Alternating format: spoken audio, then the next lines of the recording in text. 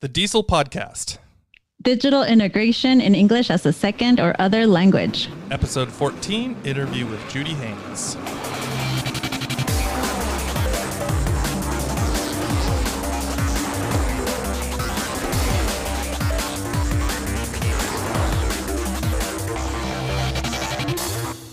Welcome to the DIESOL Podcast, episode number 14. We are your hosts. I am Brent Warner.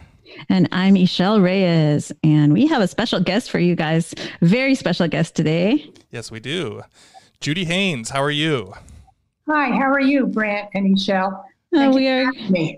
Yeah, so um, Judie, we are so excited to to talk with you today, and I'm actually going to for for our listeners, I'm going to read um, your bio. This comes from the TESOL blog, but if there's anything in there that is outdated or you need to um, correct me on, please do it at the uh, uh, when I'm finished.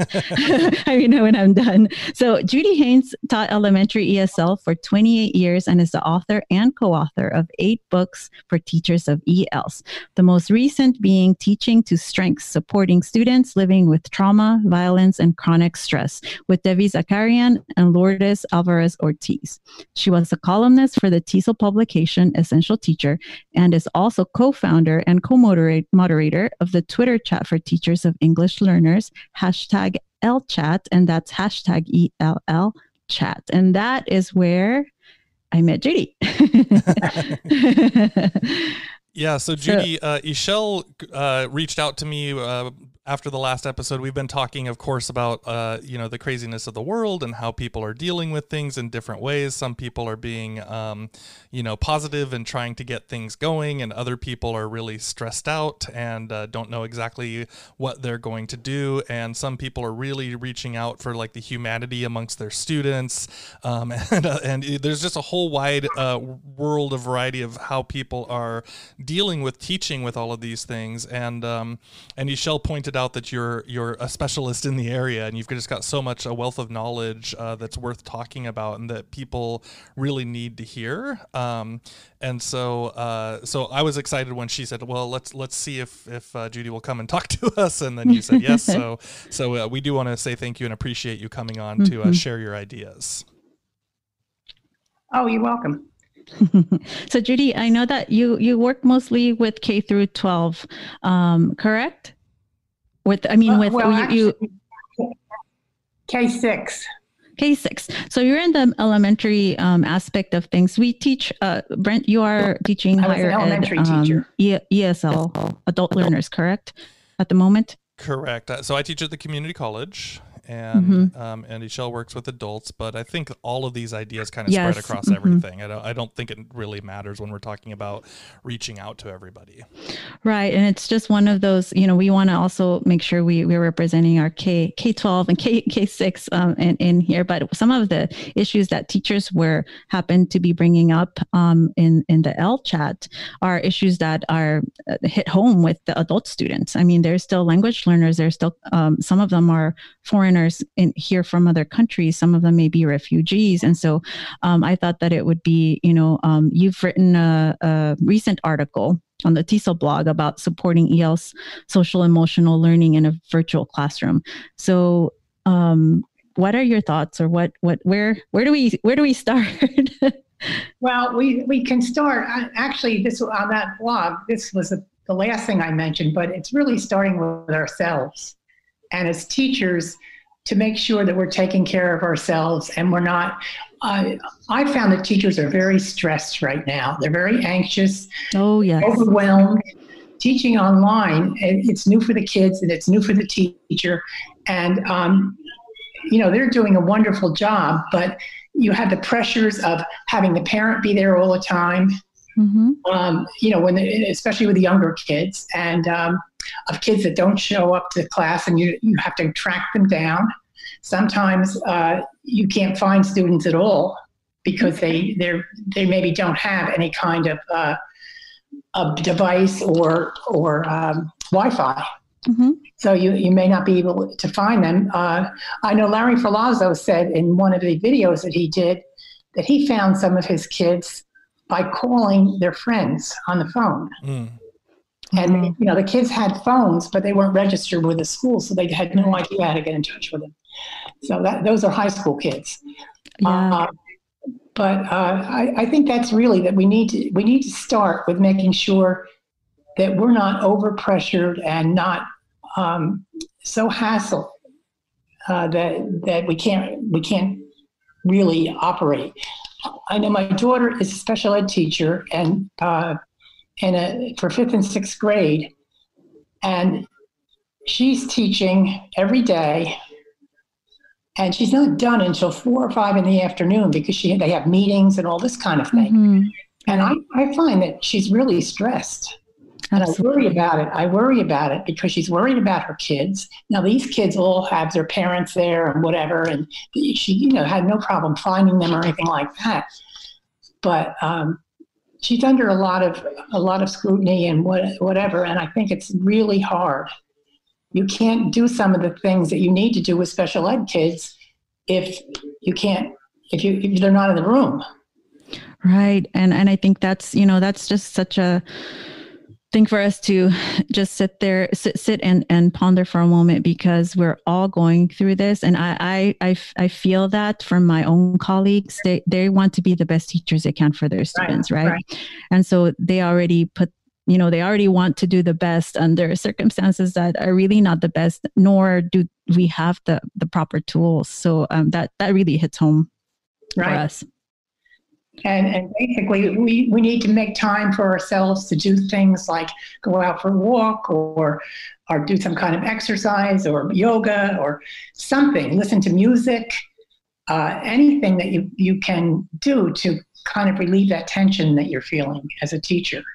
And then, and then you may, you know, have a little better frame of mind when you're on that computer almost all day long. Right right.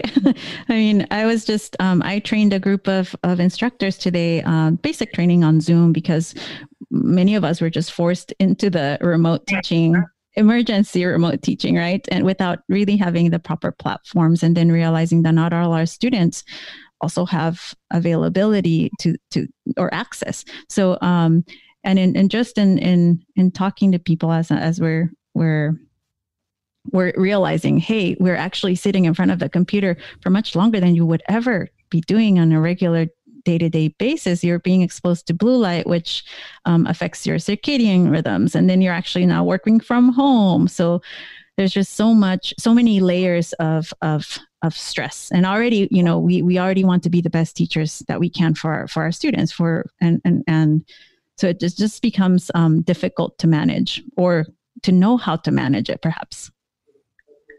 Yes, and I don't know whether you, well, you're, if you're teaching a higher ed level, you probably won't see the um, number of kids that don't have Wi-Fi at home.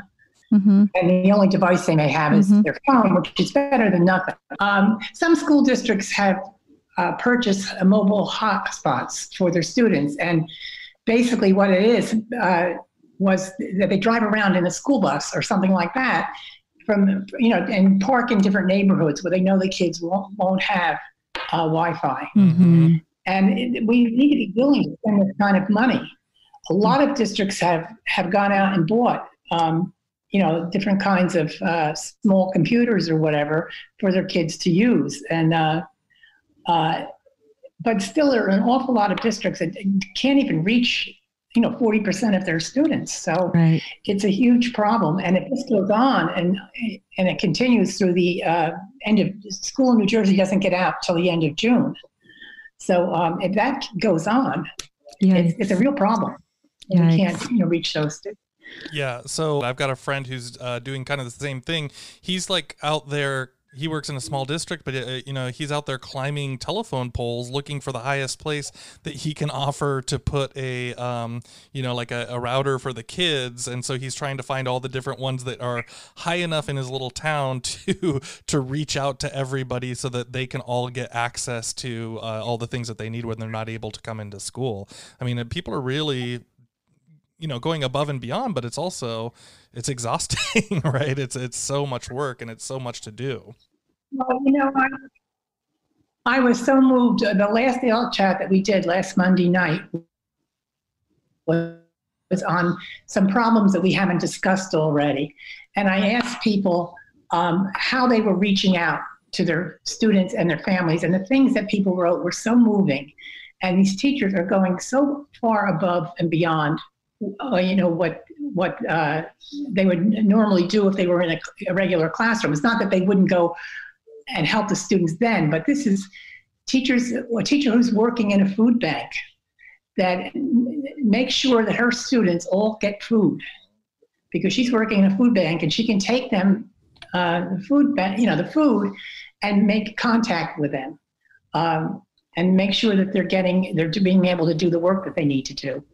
So it, it's just some really beautiful stories. And if you look through the ELLchat um, stream, you can go way back and, and see a whole chat uh, if you want.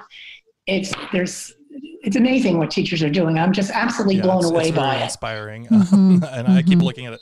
That's why I love teacher Twitter so much. Is like everybody does such awesome work. And I've learned so much just from those chats. Sometimes I'm not participating, but I'm watching. So I've encouraged a lot of my colleagues who are not on Twitter yet to just right. just go follow. You don't even need an account. Just go follow because you're gonna get back so much positivity um, when we're already inundated in negativity. Right, right. And basically, at the beginning of each chat, I usually ask a question about what are the problems, whatever, to give people a chance to get that out, out of their system. So oh, yeah, absolutely. Yes. Question yeah, second question in chat is always related to what are the problems you're seeing and what difficulties do you encounter or whatever, whatever the subject is. It could be anything, and I'll ask that kind of a question. And then the third question is, is inevitably something to do about what strategies are you using to meet the needs of the students in whatever area it is. And, um, and from there on, it's, everything is positive. So people need a chance to kind of vent at mm-hmm. times because they don't really have any other place to do it. Um, they don't want to vent where their where their school they're going to get in trouble or something, or um, you know. So so basically, we have um, in the beginning of a chat, you'll see some of that, but that's maybe the first 15 minutes at the most. And I love um, that though. I love that you're transitioning that because yeah. We were talking about that before. Um, Ixchel was telling me about one of the major uh, groups that is formed on Facebook, and it just seems to be everybody just complaining all day long with no real guidance right. to move into positivity, right? right. And so, and if you say something positive, people jump all over you. We never have that on ELLchat. We never have anybody coming in and saying nasty things, mm-hmm. and that just really amazes me because really only people know about it, and most of the teachers that know about it are teachers that either saw one of my ads for the chat, you know, the day before or the day of and, and come and try it out, or they're, they're ESL teachers or bilingual teachers. So right. um, we never get people jumping in. And, and sometimes I've, I've not used a question because I didn't want any negative. Uh, our example is the last chat. I didn't use the word undocumented immigrant because I didn't want somebody from outside the chat yeah. to see that on the mainstream and jump in and say something nasty that we would have mm-hmm. to then handle. Mm-hmm. And uh, you know that that could be disastrous. We don't right. really have that, and there's no way to there's no way to block them out, really. Right. Right. So so basically that's I, the, um, working on that and writing these blogs have, have really given me um, a lot of happiness during this time. I feel connected. I feel useful. Um, and I, when I see what teachers are doing, I just, I'm just so amazed at how much they're doing and how hard they work. And it's just something that um, warms my heart. It makes me really proud of our profession. Yeah. Absolutely. I, I totally agree. I, I've been, again, like I said, I've been training people and it's so hard, especially when some of them don't have internet access, but you get back feedback that says, thank you for your kindness. Thank you for your patience. And it's like, oh, I am useful. Whatever you took, even though I couldn't really, I couldn't answer your Wi Fi issue. Like it's that time that just spent with them. And so you make a good point. Um, you you talk you talked about how Larry Ferlazzo was was um, connecting to his students, and I'm just, and you you talked about developing um, ways to take care of ourselves. And your your blog post talks about developing a positive self talk, and that's something I'm really big on. So what yeah. can you can you well, this is something I used a lot with my students because I, mm-hmm. I, I, did a chapter on bullying um, for TESOL mm-hmm. in, in anthology, and um, uh, and I did it with a coworker who was not an ESL person, but had a lot of uh, of my students in her class. And what we found was that the English learners were much more apt to be bullied, mm-hmm. even, even though and and so and it became a problem sometimes the problem erupted into the esl classroom because they couldn't really their parents would tell them. Parents didn't see that bullying that name calling and everything. They didn't see that as anything that their kids should pay attention to. They said oh just don't don't make a big deal about it. And so the kids would be they're you know they're they're fifth and sixth grade so they're getting to you know they're getting to be uh, preteens and whatever. Mm-hmm. And and um, and the whole idea of positive self-talk, I use that a lot with them. And I had had them do a unit on bullying, um, where they drew a picture of a of a, and they they co-wrote with uh, you know two or three people together scenarios where there was a bully, one person played the bully, and then they acted it out. They drew a picture, and what I, what they came up with was just amazing, and it gave me such an insight into what the what what life they were actually leading. leading. And you know, I found things out like that. Um, they, most of my students were Korean, and um, that people made fun of their eyes. You know, they come up to them and they pull their eyes back and and make fun of them, and they just didn't know how to answer something like that. It's just, um, and it just it just broke my heart so teaching kids to say either in their own language, have a script, kind of like I am, uh, I am good, I am smart, mm-hmm. On on and on. Whatever that script is, it can be in English, it can be in their own language. But to treat them, to teach them how to say that kind of a, a positive uh, affirmation over and over again, and walking away, and not showing that they're upset or anything, just walking away uh, is is really uh, something that's very useful. and I think it's useful to almost anybody. Absolutely. Um, I could use that kind of. Uh, absolutely. One of the things that I've I've um, or one of the ways I, I give myself self affirmations all the time, but when dealing with tech, especially right now, I have to tell um, my colleagues remember be kind to yourself at the end of the day. Be kind to yourself. Be kind to yourself. It's not you it's a situation you can't control it. So it's it is that self narrative that you're you're training yourself um, to be positive right? And that that self talk is so important for our our els especially when they don't have the words to stand up necessarily. But you're right, right. i had never thought about um, i actually never thought about teaching them that they could just say it to themselves in their own language. That's got to be really powerful. I had one student that drew a picture of the lunch that his mother sent to school. He was japanese and he had brought this beautiful lunch to school every day with uh, with kind of raw fish and rice, you know, in, in his lunch. And the, somebody said to him, uh, "Your lunch smells terrible." Mm. And his self affirmation was, "I love Japanese food. This is mm. a mm-hmm. food in my country. Um, uh, Japanese people don't think this smells terrible." You know, and this this was his the affirmation that he wrote, and I thought, you know, oh that's that I felt that really helped him. Oh, you know, yeah, that behind helps me right now. Just hearing yeah, you talk about like, it. Oh my gosh, it is. It is. It's so empowering. That yeah. is so empowering. So, uh, so that, that was, you know, that was something that I carried with me from the time that I wrote that that chapter, which was, I don't know, 15 years ago maybe. And from that time on, and I've carried that idea of of positive self-talk, and it, it, appears in a lot of the things that I write. Mm-hmm. So, um, Judie, one of the things that you uh, you talked about uh, uh, in your most recent article or your most recent blog post here, um, because of all the switches to online and you know all of these ideas, um, is you're talking a little bit about um, uh, giving your students brain breaks during the online sessions because you know, we're staring at the screen all day long, um, and and I think it takes more of our brain than we think it does looking at the screen versus having a classroom to look around.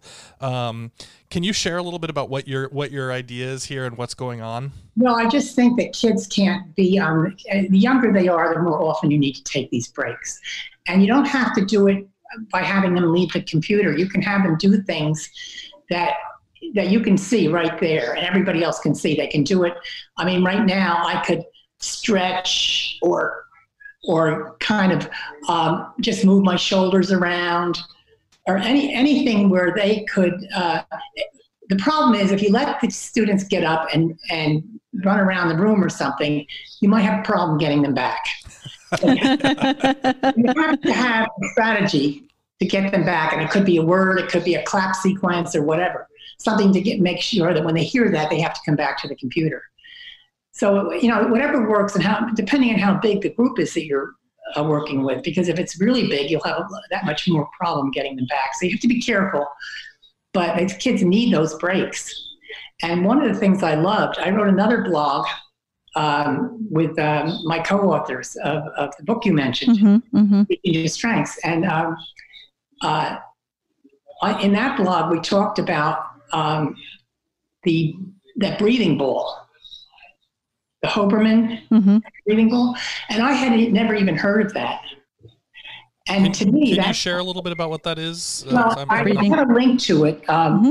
I have a link to it in the article, and basically, it's um, the this, go ahead. this ball that you um, that you push in and out. It's it's not a ball really. It's almost like links. It's a big ball shape, but it's links, and you can push it in and out Oh, I know. They're like, they're, yeah, it's the plastic thing, right? Uh, yeah, plastic right, with, right. with uh, kind of hinges all around it, and it right. opens up as you pull it wide. Kind of like a, yeah, yeah. I've seen it in yeah. science classes often. Yeah, and that's called a Hoberman sphere. So, um, uh, so and they're all different prices. You can get them bigger or, or smaller. But if you had each child had one of those, and they could be push it in and out as they breathe, that would be something they could do seated right in front of you and um, and all all do these breathing exercises. You don't have to be a yoga expert to to teach kids how to do that. Mm-hmm. And um, and it might you know it might spill over into other areas of their life that would be helpful for them.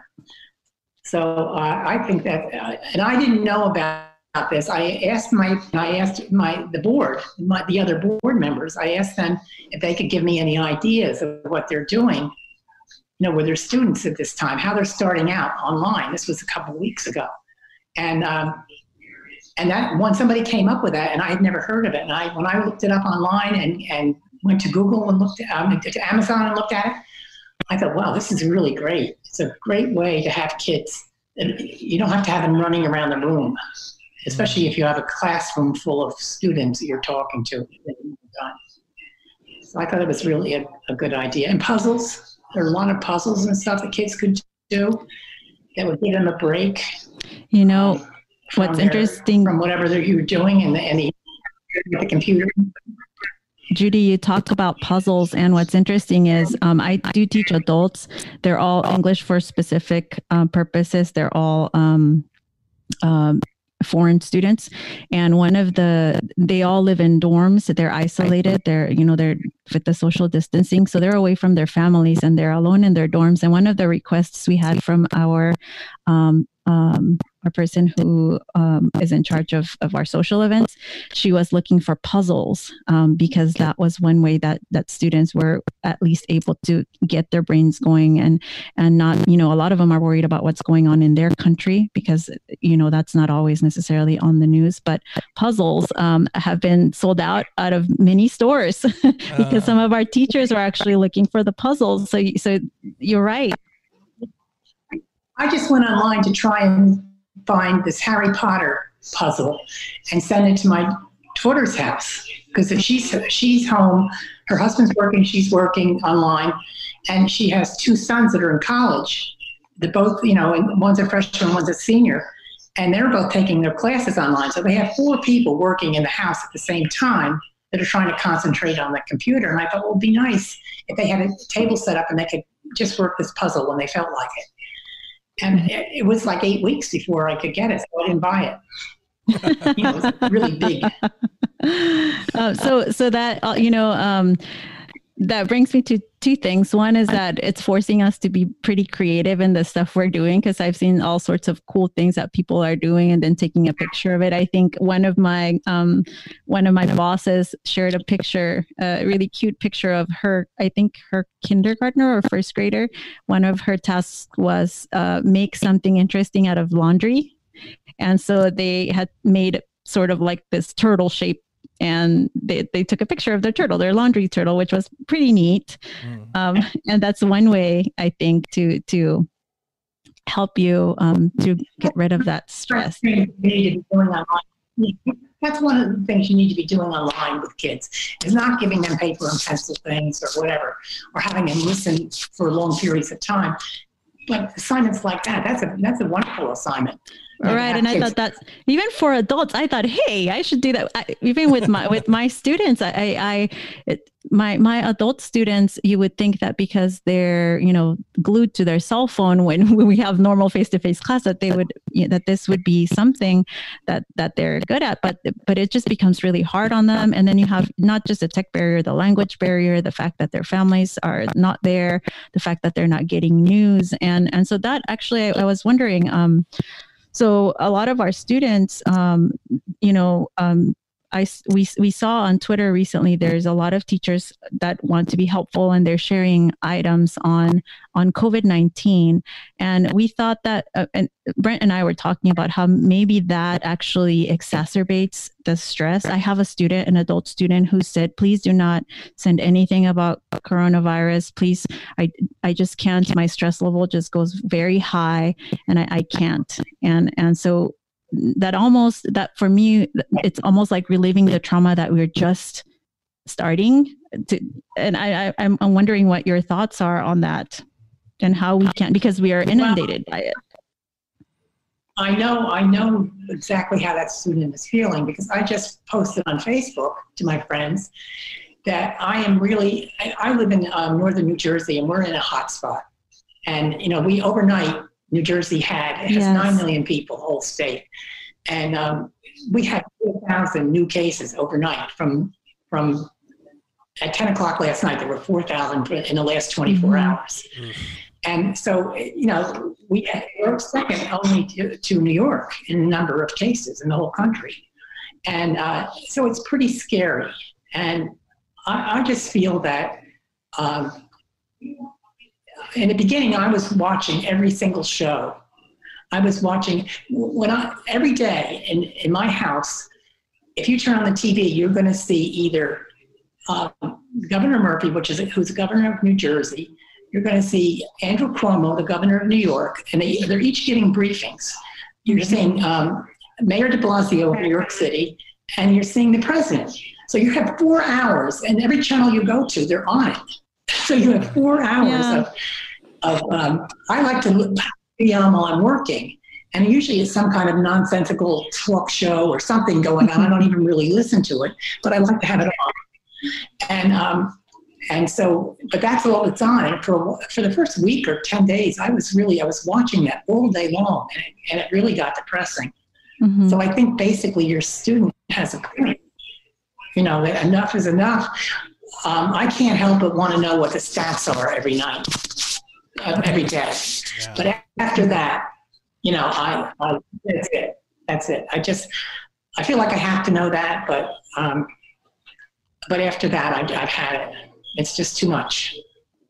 So, um, one of the things that we were thinking about, and, uh, you know, yeah. you have so much information and, and background on uh, social emotional learning, and some teachers want to know these things and they see SEL and it's posted about it, but they don't really know where to go or um, how to get started with this. And I, of course, some of the ideas that you're talking about are uh, integrated into that. Um, but also, if you're if you're just uh, you know, if a teacher is just trying to start thinking about these things and they're stuck at home, right? They don't have the opportunities to do, uh, you know, courses and trainings and these things where how would you recommend that someone gets started with um, social emotional learning and integrating it into their work? There's just so many articles eh, that deal with education. Social emotional learning um, in education and you can you can get so much information. And basically, um, uh, I I came to the, the conclusion that journaling could be helpful for almost all students. Maybe little ones could draw a picture or something, mm-hmm. um, so that you can see how how they're feeling. And also, when you start a session, ask how they're doing. Mm-hmm. Um, let the give them a chance. Give them a chance to introduce you to their sibling or their pet or whatever, uh, so that they see that you're interested in them, that you see them, and um, and basically uh, a journal. Can you imagine? I wish I could start a journal when we first when this first started. I, I really do because these kids would have this. You know, 30 years from now, they could look back on this time in their life and say, "Oh, this is what I wrote during the you know the infamous uh, pandemic of 2020." So I, I think that would be a, a, great gift that teachers could give to their kids is to have them write something very short and depending on their age, and have them write a, at least a couple of times a week in a journal. Uh, and that could be a way to and you could really you could really incorporate that incorporate that into um, into the academic things that you're teaching. Mm-hmm. So um, uh, they keep a record of their life. They link it to whatever they're studying, you know, whatever you're teaching them, and um, uh, and basically you can say if a child um, is anxious about talking about this, you can say to that child, "Well, what would you do for a friend who was worried about, you know, the coronavirus?" And that would take them out of it, and they're they become an onlooker looking on to this, and they would tell you what they think should be done. And then you're getting an idea of where that child is social, socially and emotionally. Um, so I, I mean, I, I never really studied this in, in school.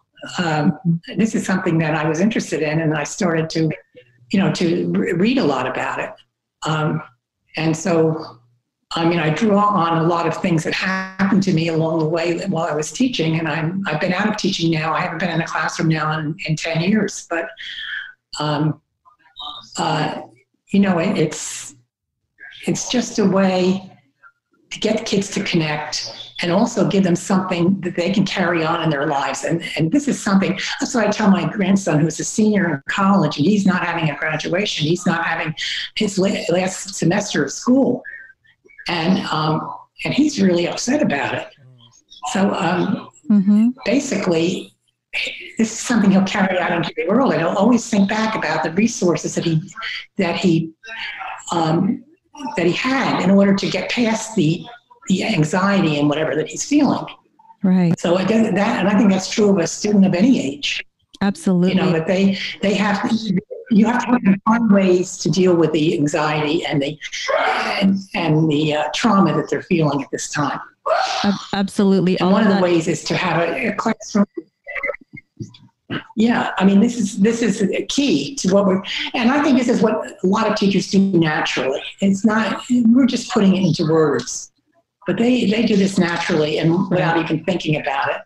And if they read it, they it affirms, oh yeah, I'm doing that right so even if they're people are interested in reading that, but yeah, I mean, people are interested in reading about it because it affirms what they've already been doing, and they didn't really think about it, and they realize that hey, I'm doing social emotional learning. I didn't even know that. Mm-hmm. So um, yeah, I think that's uh, really helpful for kids. Gosh, you have you have so much to share with us today. Um, I think it's oh it's just so it's a time for us to reflect and a time for us to like you said take care of ourselves um, so that we can um, be there for our students for the ones that we can be there for but you're you're absolutely right about those things uh, Judie, as we kind of wrap up here, and we really appreciate you giving us your time tonight. I know it's uh, it's a little uh, later for you in the evening and trying to get done with your day. Um, but uh, we do normally wrap up with a with a, a, little segment called Fun Finds, and so uh, Ixchel and I will share a couple of ideas. And if you have something that's been uh, hopefully making you happy in the last few days, uh, you can share yours as well. But Ixchel, are you ready to go with yours? I am ready. All right, what do you got? Okay, so my fun find this year this year. Oh my gosh. it's just been a couple of weeks. So my fun find this week is um, I don't know why I just found out about this. I've heard about it, but I finally had the chance to try it and it's Google Jamboard, oh, which yeah. is like a virtual um, whiteboard. And it is so cool because you can have all the whiteboards that you want and um, you can share it remotely with your students. You can share a link and they don't have to have a Google account. And that's what saved my butt once again, a Google app this week. So it is, it is um, Jamboard. It's if you just need one Google account, but that's my, um, my fun find.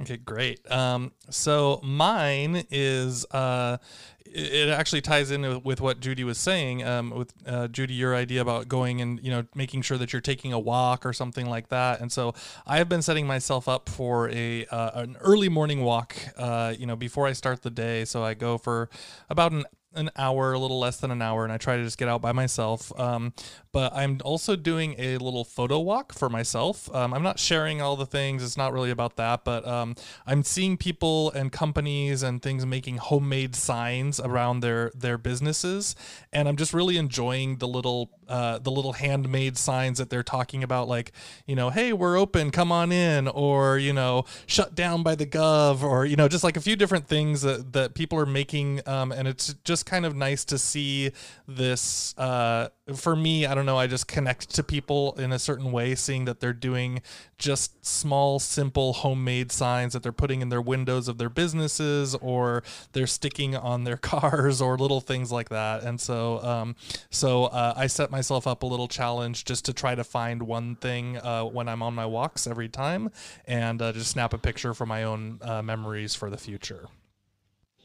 Hmm, I want to do something like that. Oh, I think I'm going to steal that. I think I'm going to steal that too. steal that. That's great.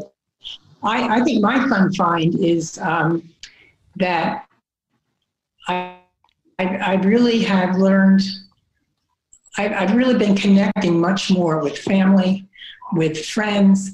I've had, um, I gave a birthday party for my daughter on uh, in the beginning of April with the whole family from all over the U.S. Um, I've had drinks with fr- friends, my husband and I, and we, would say, you know, we'd talk for about 45 minutes. And I uh, had lunches lunches with two groups of friends mm. uh, over this time. And normally, you know, I might not see them or talk to them so much. So this has been really, uh, really nice to be able to touch base with all, with all these um, people. I've had, you know, FaceTime. I never FaceTime before, and I had, you know, talks with family members like that, and you know, individual family members. So it's been really, um, it really makes me feel good to have these connections. That's it really wonderful. lifts my spirits every wonderful. day when I connect with somebody. Yeah, yeah, absolutely. That's it's been a, it's been a great way to uh, find uh, some of our old connections that we yeah haven't haven't always kept up with for everything in the past. Right. That's funny. Um, I just want to throw out there that I had uh, our 12 re- year reunion with um, a group of uh, they were e- e- uh, English um, teachers that we were volunteers in Japan. We hadn't talked to each other for such a long time, and we we, we did it because of what else you know we we had to connect, and it was as it wouldn't have happened um, otherwise. I think, connecting that is that is that right, is great. Right, absolutely. All right. So uh, we're going to wrap everything up. Uh, and thanks everybody so much for listening to the show. Mm-hmm. Um, uh, you know, as always, all the information is out there. Um, I do want to say, you know, just in the spirit of kind of keeping things positive and being grateful for everybody, uh, you know, Ixchel, a couple people have uh, donated money to the show through the uh, buy buy us a coffee thing. And I was really I surprised. I was like, oh, I I, you know, like maybe I thought someone maybe every once in a while would give a couple dollars, and then people were sending in some actual money that'll help us. Um, you know, we'll we'll we're probably not going to use it for coffee. We're probably going to use it to pay for the show. but um, but you know, I just I, I'm always grateful when people like show, hey, this is actually valuable for us, and uh, there's there's something worth uh, worth investing in here. So I just want to say thank you to anybody who's who's shared out. Um, I, they've kind of come in semi anonymous, so I don't want to shout anybody's names out. Mm-hmm. But uh, but thank you for those of you who have uh, have sent us uh, a little coffee. Thank you. We appreciate it. Thank you. Thank you. Um, as always, we are also a part of Voice Ed Radio, so you can uh, hear it, hear some of us uh, and other uh, ed, uh, education-related shows on Voice Ed. And you can leave us a review on Apple Podcasts. If you um, if you're giving us a shout out any other way, tag us on social media or shoot us an email. Um, we are you can find the show notes and all of um, Judie's um, articles and links. We'll put them on the show on the show notes, and that's at DIESOL.org.